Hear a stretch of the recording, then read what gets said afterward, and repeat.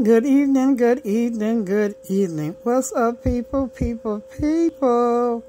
It is Thursday evening, and I am doing a roll call smile train. See you if you're doing what you're supposed to be doing, smiling and enjoying in life.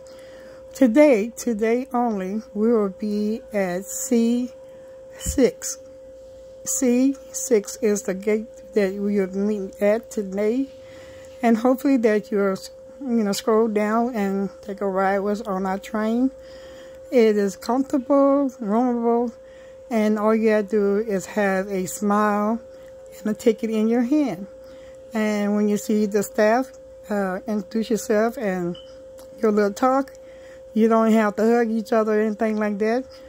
Just nod your head and say, oh, I see you. So I hope everything is going good for you.